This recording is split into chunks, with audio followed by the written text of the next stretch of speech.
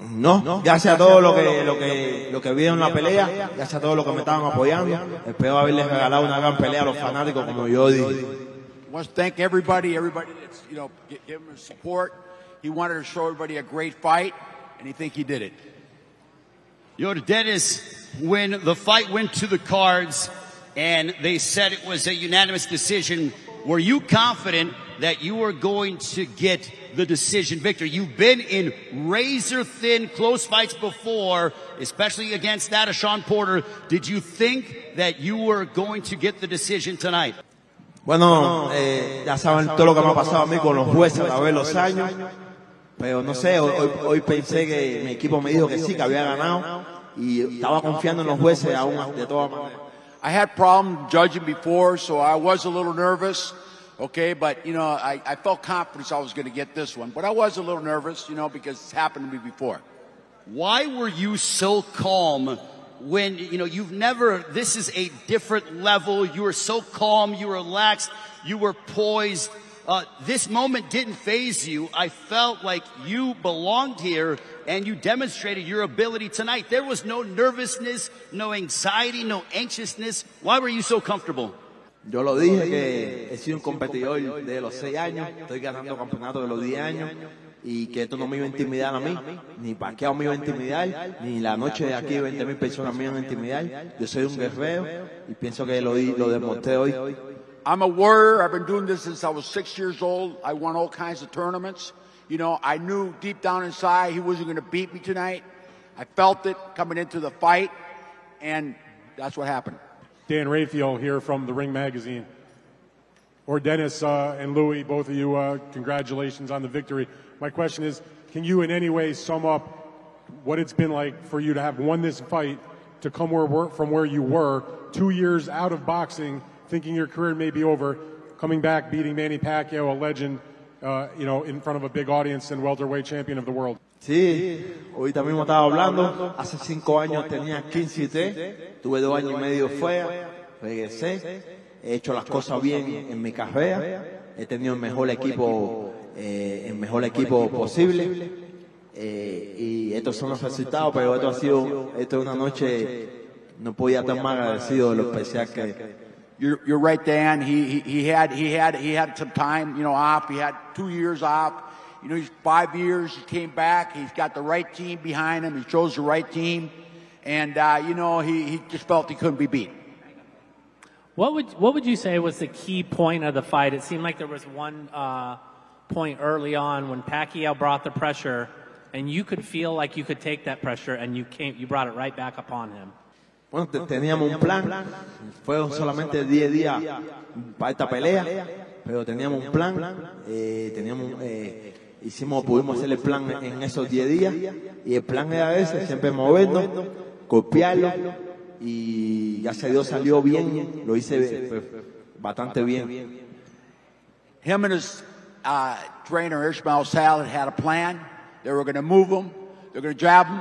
A little Montequilla left hand, of course, worked there from Santiago de Cuba, just like Montequilla Annapolis.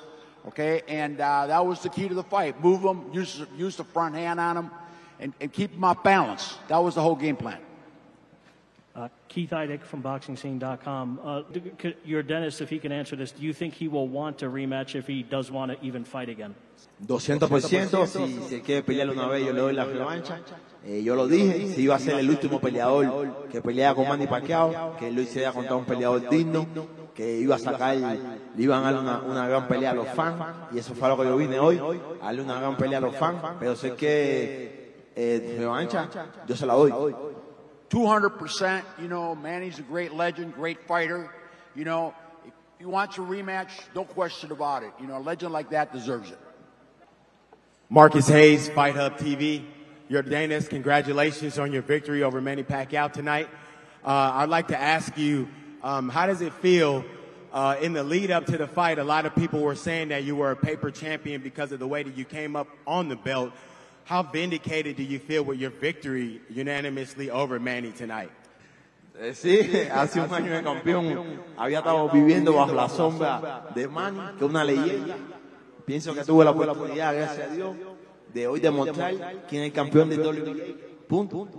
Listen, I've been living under Manny Pacquiao's shadow for a year. You know, now we, we like you said, we're gonna we're gonna fight in the ring and find out who the champion is, and we decided in the ring. Hi, Ugas. Uh, congratulations on your victory. Valerie Gonzalez of Eagle News. My question to you is, when in the fight did you feel you took full control of? No, yo salí a competir. Eh, desde el primer asalto salí a competir. Lo que he hecho toda mi vida, competir fuerte. Y sí, pienso que, que, que desde el primer momento tenía, tenía el control de la pelea y sabía que había que pelear fuerte. Since the first round, he came out, you know, very alert. He knew he had to take control of the fight if he was going to beat a great fighter, and that's exactly what he did. Champ, con- congratulations, champ, on the victory tonight. Rick Mohammed, Brawler Sports Media. At any time, did Manny Pacquiao rattle you? Does he still have the punching power that we all seen in his previous years in his career? No, Tocino, había un, un peleador peligroso, pega, me dio un par de golpes buenos, eh, pero me lo han dado otras veces también, me han, me han movido. Eh, él me dio, que- me dio en el 10, me dio, no me acuerdo en el otro, golpes buenos, pero yo soy un guerrero y que no me, eh, a mí el dolor es parte de esto, el dolor es lo que me, me hace pasarlo mejor y eso fue, pero todavía sigue siendo un peleador peligroso que pega, sí. Of course, Manny Pacquiao punches hard. You know, he's a great puncher. You know, he, he got rattled in the 10th, he got hit in the 11th, but he's a great warrior. You know, he knew that he'd been hit hard before. You know, this guy's fought, you know, one of the great amateurs, fought everybody in the world, and the pros, you know, he's fought everybody. So he, you know, he, he knows what he's got to do when, when, when he gets tagged. Mr. Ugas, how does it feel to redeem yourself after that L that they called it an L from Sean Porter and to become a true champion today? How does it feel? Eh, no, eh, estoy contento y pienso que he demostrado el peleador que soy. Con lo, con, he peleado con, con dos de los mejores pesos welter de mi generación. Aquí a uno de los mejores peleadores de la historia.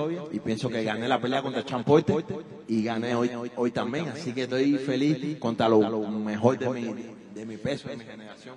He's very, very, you know, happy that, you know, that he felt the same thing as you. He beat Sean Porter. So he feels very, very blessed to be beating also a great fighter like, like Manny Pacquiao, a leg- legend, and winning two fights against two of the top welterweights in the world. Uh, uh, congratulations, Mr. Ugas. Um, Elton Lugay with uh, Inquirer.net. I'm just curious, sir, if you felt any kind of pressure to win tonight, knowing that the senator is much older than you. Bueno, hace solamente dos años le ganó a Tuma, que es uno de los, eh, posiblemente el mejor peso welter que había hace dos años. Pienso que Pacquiao es un peleador peligroso. Eh, yo, eh, yo tenía que ganar, eh, salí a ganar y fue un honor estar con uno de los mejores peleadores de la historia peleando. You know, when, you know, it might be 40, 40, in his 40s, but he did beat a very, very game Thurman, a very dangerous puncher with both hands, you know, and he neutralized him pretty easily. So I was looking for that with that packet that came in, and I'll tell you, you know, he showed tonight, and he's still got a lot, a lot left. Hi, uh, Michelle Joy Phelps with Behind the Gloves. I'm just wondering if you wanted to respond to any of the rumors that there was an injury leading up to the fight tonight. No, eso no. Yo doy 100%. Eh, eh, yo- mi brazo está bien. Eh, hace, hace, eh, tenía, estaba como que eh, eh, hinchado, pero no tenía dolor ni nada. Mi brazo estaba bien. Yo, yo lo demostré que mi brazo estaba en buena condición. That's boxing. You got a lot of trashy guys like Rick Laser that, you know, make comments and, and make rumors, you know, and, and, and uh, you know, that's, that's boxing. He was perfectly fine. And if his left hand was so bad, why did he neutralize him with his left hand? You know, they, it's, that's what won the fight, left hand.